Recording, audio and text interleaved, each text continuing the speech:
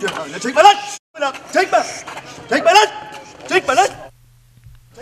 Olay Antalya'nın Kepez ilçesi Hüsnü Karakaş mahallesinde yaşandı.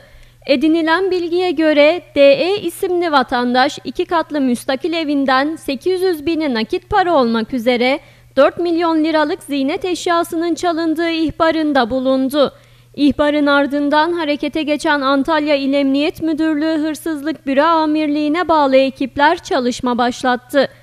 Yaklaşık 33 saatlik güvenlik kamera kayıtlarını inceleyen ekipler 5 şüphelinin kimliklerini tespit etti.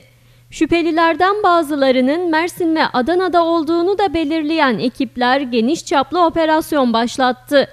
Adana ve Mersin'deki polis ekipleriyle ortak düzenlenen operasyonlarda şüphelilerden biri Mersin'de, diğerleri ise Antalya'da kıskıvrak yakalandı.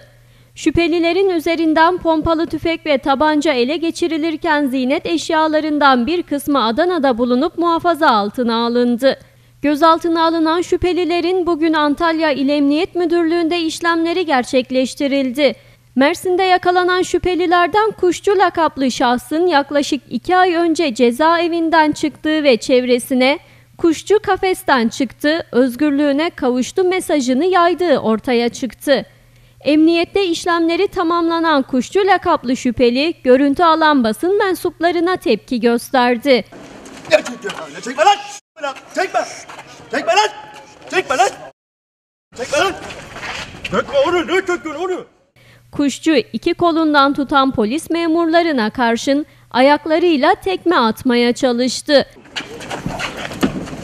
Çekme lan! Bu esnada da ayağından terliklerini etrafa savurdu. Şüpheliler adliyeye sevk edildi.